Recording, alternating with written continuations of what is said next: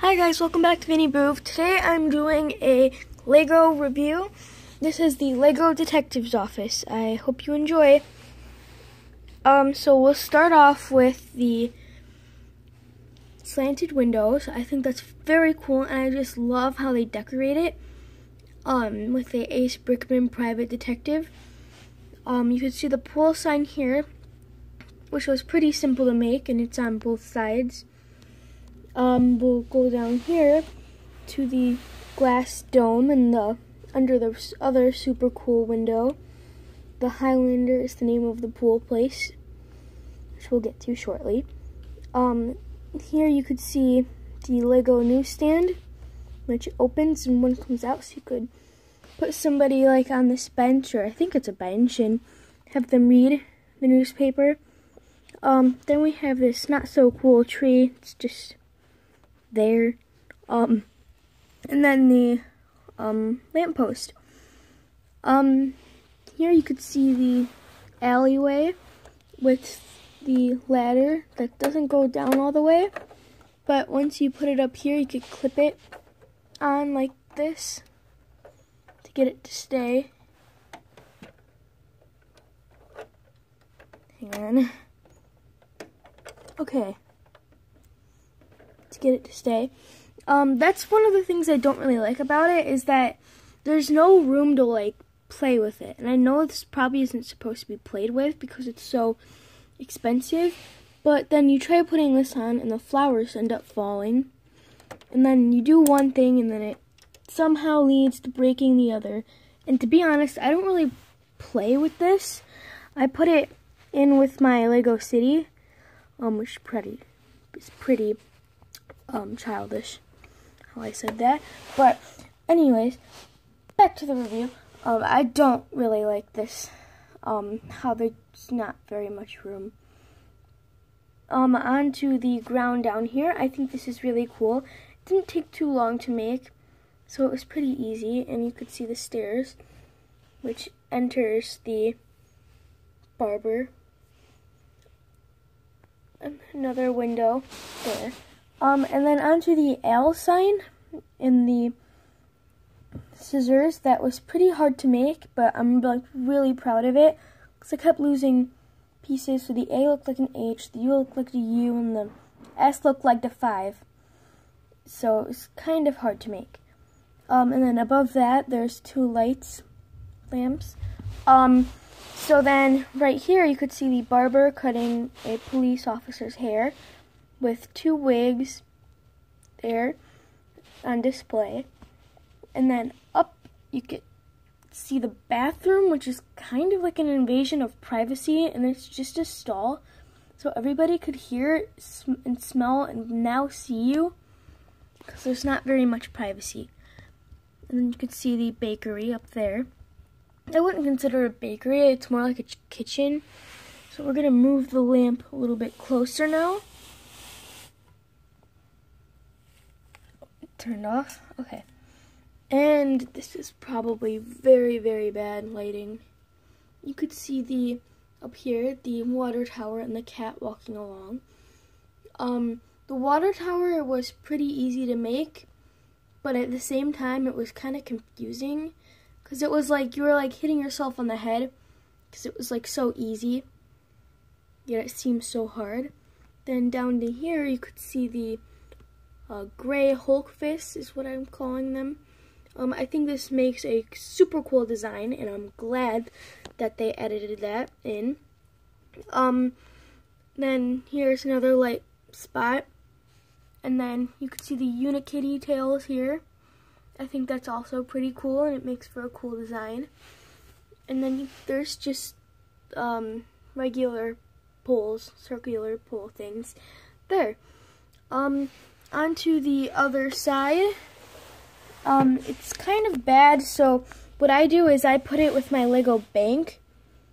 So it like blocks this side because like it's just messed up. It's messy.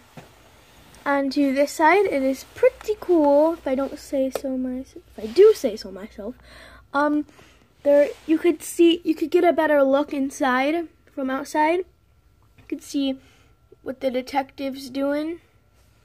kind of. The lighting's bad, as I say again. Um, you could, I think this is pretty cool. The three windows, I like that. And then there's the door, the back door to the pool shop. Um, and then right here, okay, this is where it gets interesting. So you, so there's a story on this, how the detective is trying to catch somebody who's been smuggling candy into Lego City. So what the person does is, well, they wear a red cap so we could see that they've been getting away with it. So they've thrown away their evidence and they're now smuggling candy to Lego City. So what they do is they open this, they stick the barrel in through here, and somebody's supposed to come in and slide it through here to get into here. It's probably really confusing how I worded it, but it's super cool. On to the next side. Um, again, this is something that you'd probably want to cover up with another set like this. Just saying. Um, yeah, so now on to the kitchen. So we take the top off like this. It's pretty easy. And then you can see the kitchen just going to move it closer. Um, so you could see the oven with the pan on it, and then the this door cabinet opens. And then I'm not sure if you could see, but it's a okay. Now you could see. Um, the glass oven opens. You could see the cookies on the side that they've been making um, and then right here is just like an open space with a what I think is considered a trash can. But in other sets, it could be a bin for like lost and found or any, really anything. Cardboard box. Um, and then right here, you could see what they're making. They're making the cookies. Um, and then there's a clock right here. I don't know if the glare is in the way. And then a rolling pin. I think this part is really cool because I have a Lego old lady and I put her up here a lot whenever I'm setting this up to show people. So I really like this part. Next is the second floor. So this is where it gets kind of interesting. You can see the potted plant right here. And then this is what I was talking about with the bathroom. It's mainly just a stall, and the door opens like that. Um, you could see the toilet and the toilet paper on the side. And then what I hope is a sink right here. Then there's the dumb window that they shouldn't have added because of privacy. Um, and then right here is the detective's office. I think this part's really cool too. Um, you could see the fan that moves. Um, she has a really cool chair. Uh, wow, that's super boring. Um, and then you could see he has such a cluttered desk, desk with the newspaper he got from downstairs and a map of the city. And then right here he has his cool little lamp um, I'm going to show you the our first minifigure that I've shown you. Um, she is, she wears all red. She doesn't have anything behind her, so it's kind of boring. Um, she has a average face, um, and light brown hair.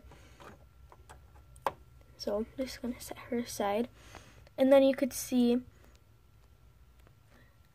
this retracts, or not retracts, but moves. So you could see the letter that he's been hiding. And then so does this, but there's nothing behind it. It's just the wanted sign. And I think this is really funny because it says wanted and it's like the most average person.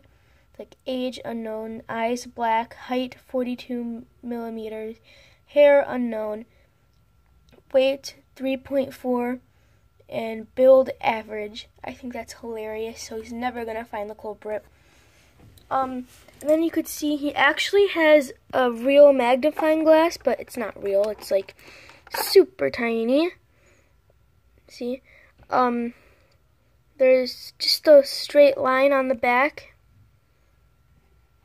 Um, nothing much. And then the hat. And then the tie and shirt and coat with the belts you could see. So that's pretty cool. And then the average face and the fedora, what I think it's called, a cowboy hat looks like. Um, I think this, oh, no, it's not. There's a coat hat, or a coat rack right here. Now onto the cool part. This also comes off very easily. Um, so right here we could see, well, the stairs move. So this is what I'm talking about with the story. So you, the barber opens that, smuggles in the candy through the stairs. Now if I remember how to do this, you open the trap door right here, take the barrel, and stuff it under the stairs. I hope I did that correctly without breaking anything. This is another example of how they need to make it good. And by good, I mean space. Um, you could see the little cupper right here where he keeps his um, things in, like hair gel and maybe clips for the razor and scissors. Um, there's nothing in there because it wouldn't fit. And the drawers do not open, but I still think it's really cool. Right here, I'm not quite sure if you could see this, so I'm going to move it around. You could see the mirror, which is really cool, and the lights um, hovering over it. Um, and then just gonna turn it around one more time. You could see the barber cutting the cop's hair. Um, you could see the wigs in the back. So, yeah, I think the barber is pretty cool. So you could get a good look at him without me having to uh, have to um, take him out and ruin everything. Um, and then there's a sink right here. So the barber has gray hair. He holds the scissors. Um, he has a blue and white striped shirt with red bow tie, a red bow tie, and white pants. The police officer has a average police shirt with average blue pants and a ponytail that's soon to get cut off. Um, onto the best part, what I think. Um, there, so this is the pool area. We could easily move the fan out of the way so we could see the pool table, just really cool. That was pretty hard to make actually. You could see the guy playing pool. The fan actually spins too, so that's pretty nice. Um, so the you could see him playing darts. Um, I'm going to have to take them out so you could see he was. I think he was the original culprit for the uh, candy smuggling. Um, you could see he's holding the darts in his hand, and he has khakis on, what I think are khakis actually, um, and a plaid blue and red shirt. And then the back is nothing. Um, and then this guy has black spiked hair, a gold um, pool cue. I think that's what it's called. And this comes off easily, so I'm just warning you if you were to buy this. Um, it has a blue jacket and a red or maroon uh, sweatshirt on with brown pants. Um, and then for the last part, you open this, I think it was. No. This. You slide that back, and then you could get the candy out. But it's really hard to do because I have big hand. No, just kidding. Um, that was awkward. Um, yeah. Um, cause my hands do not fit there, so you'd have to push it in, like a lot. Um, I hope you guys like this video. This, um, was like a hundred and it was over a hundred dollars, but less than a hundred and thirty-four dollars. Um, so just saying. Um, I hope you enjoy this video. Um, this took me two weeks to build, and I've had it for since last Christmas. Um, I hope you guys enjoy this video. I just destroyed a set. Not really. Um, but yeah, I hope you guys enjoy. Um, please like and subscribe. Um, subscribe to Zangoon and Soccer Kid and History Bros. Um, yeah. Bye.